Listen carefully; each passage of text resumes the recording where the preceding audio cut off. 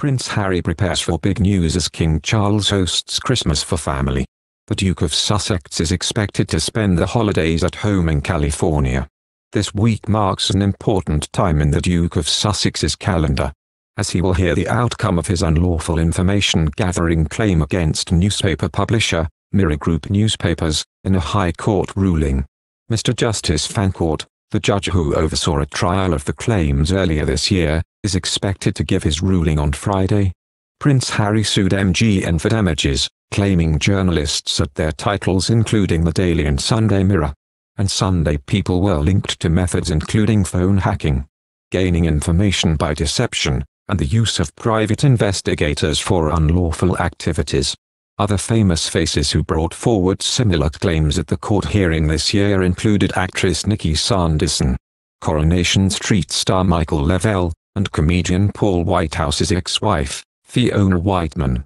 The allegations span a period from as early as 1991 until at least 2011, the court heard. The high-profile trial spanned seven weeks and concluded in June. Harry flew over from the US to spend eight hours of questioning in the witness box, over two days. Evidence was also heard from dozens of witnesses, including former journalists, editors, private investigators, and MGN executives. Other witnesses, such as the family, friends, and colleagues of those bringing cases against the publisher, submitted written testimonies. MGN largely contested the claims, although they did admit to a small number of unlawful activity in relation to Prince Harry's case. The publisher apologized to the Duke and accepted they will be entitled to some damages. Harry is expected to spend the festive season in California with his wife Meghan and their two young children Archie and Lilibet. The Sussexes usually release an annual Christmas card. So fans are no doubt eagerly awaiting to see what photo the family have chosen to showcase this year. Meanwhile, King Charles and Queen Camilla are preparing to host the royal family's traditional Christmas events. The monarch usually invites extended members of the royal family to a luncheon at Buckingham Palace in the week leading up to the 25th. It's a chance for the king and queen to celebrate the festive season, with relatives they won't see on Christmas Day itself, such as Zara and Mike Tindall and their children. A more select group of royals, including the Prince and Princess of Wales, the Princess Royal, and the Duke and Duchess of Edinburgh, then get together on Christmas Eve for a traditional dinner at Sandringham House, where they exchange low-key and often joker gifts. Members of the firm usually arrive at Norfolk in the days leading up to Christmas and step out on the 25th of December for the church service and of course the public walk to St. Mary Magdalene and the short walk about afterwards.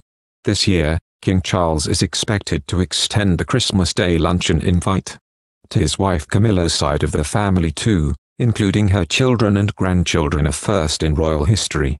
According to ITV's royal editor Chris Ship, Christmas lunch will now reportedly be served in the larger ballroom of Sandringham House rather than the dining room, to accommodate the extra guests.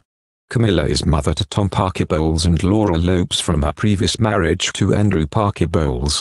Tom shares daughter Lola and son Freddie with his former wife Sarah Buys, while Laura and her husband Harry are parents to Eliza and twin sons, Gus and Louis.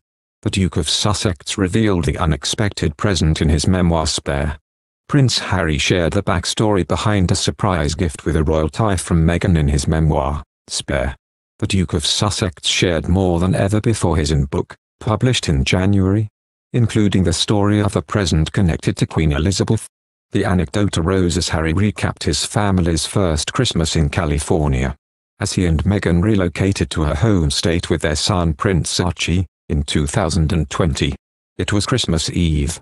We FaceTimed with several friends, including a few in Britain. We watched Archie running around the tree, and we opened presents. Keeping to the Windsor family tradition, Prince Harry wrote in Spare. The tradition referred to the royal family's long-time custom of exchanging gifts on the 24th of December, a German practice that Queen Victoria's Bavarian-born husband, Prince Albert, introduced in the mid-19th century. One present was a little Christmas ornament of the Queen. I roared. What a... Meg had spotted it in a local store and thought I might like it, he continued. I held it to the light. It was Granny's face to a T. I hung it on an eye-level branch. It made me happy to see her there. But then Archie, playing around the tree, jostled the stand, shook the tree, and Granny fell. I heard a smash and turned. Pieces lay all over the floor, Harry wrote in spare, adding that the toddler tried to help fix the situation. Archie ran and grabbed a spray bottle. For some reason he thought spraying water on the broken pieces would fix it, he wrote. Meg said, No, Archie, no do not spray Gan Gan. I grabbed a dustpan and swept up the pieces, all the while thinking, this is weird. Thank you for watching. If you like our video, would you please help us like, share and subscribe our channel. Wish you happy to see our videos, thank you very much.